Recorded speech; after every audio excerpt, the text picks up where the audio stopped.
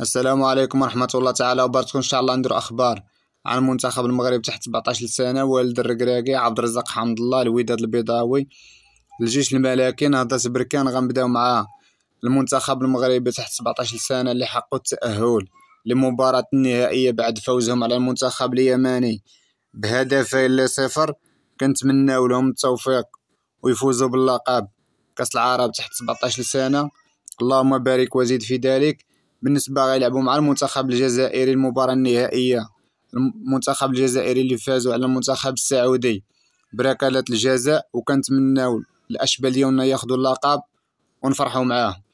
بالنسبة لوليد الركراكي غيستدعي 33 لاعب القائمة الموسعة ديالو اللي غتكون في المجمع المقبل للمنتخب. كنتمناو لهم الصراحة التوفيق لولد الركراكي في المسؤولية اللي يشد على المنتخب. صراحة مسؤولية ثقيلة كما كنقولوا ولكن ولد الركراكي كما كنقول تايق فيه الجمهور وأول ناخب وطني على هذا الإجماع كامل من الصحافة من الجماهير من كل شيء وكنتمناو له التوفيق.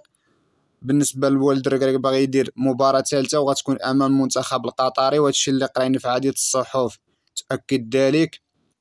بالنسبة لماسينا تصاب مع فريق أودينيزي الإيطالي ولد الركراكي في ورطة اللي لقى لاعب ظاهر أيسر وهادشي اللي شفنا حمزة منديل على فمو قال إنه باغي يجي يلعب في المنتخب في القائمه الموسعة. بالنسبة لفريق الوداد أول فوز الحامل اللقب بالدوري المغربي كي كيفوز على فريق الدفاع الحسني الجديدي بثلاثة الأهداف لصفر.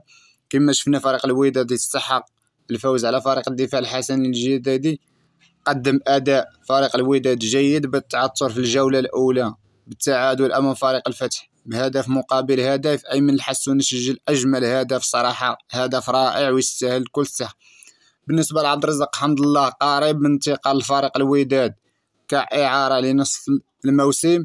وكنتمناو صراحة عبد الرزاق حمد الله إلا جا فريق الوداد صراحة غيعطي إضافة كبيرة للدوري المغربي.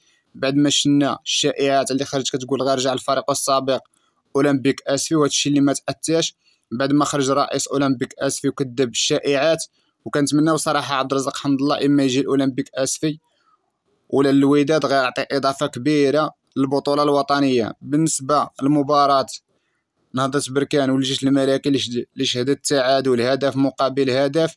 المباراة ديال نهضة بركان اللي كانت مقدمة هو الوداد على حساب كاس السوبر بالنسبة لجواد اليامق اللي ملعبش المباراة.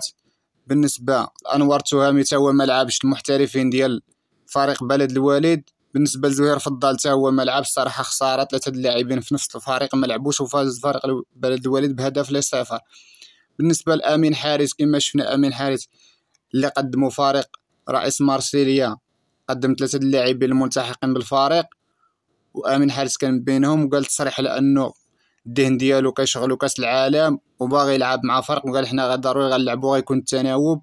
والسلام عليكم ورحمة الله تعالى وبركاته.